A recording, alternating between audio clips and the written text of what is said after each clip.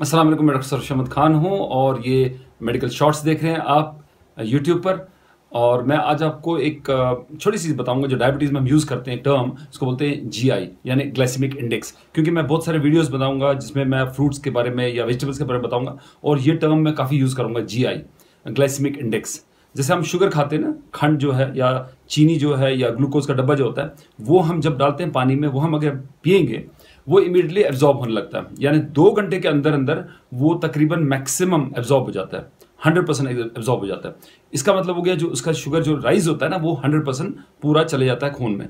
तो वो उसका जो ग्लाइसेमिक इंडेक्स नंबर है, वो है हंड्रेड उससे आपको समझ आएगी वो कितना मीठा है और एक साइड से आपका एक एप्पल है जो आप खाते हो फॉर एग्ज़ाम्पल वो उसका जो शुगर बढ़ता है दो घंटे में सिर्फ़ पैंतीस परसेंट उसका शुगर एब्जॉर्ब होगा। सो so, उसका जो जीआई है वो पैंतीस है। सो so, एक एप्पल का जी आई पैंतीस है और जो चीनी है या जो ग्लूकोज है उसका जी आई हंड्रेड है।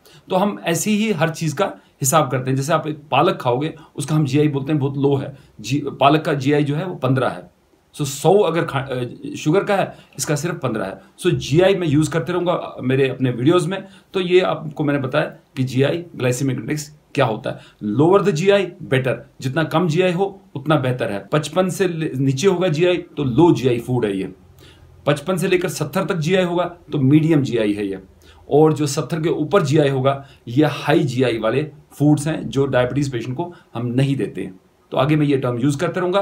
देखते रहिए मेरा video Allah Hafiz. Have a nice time. Bye.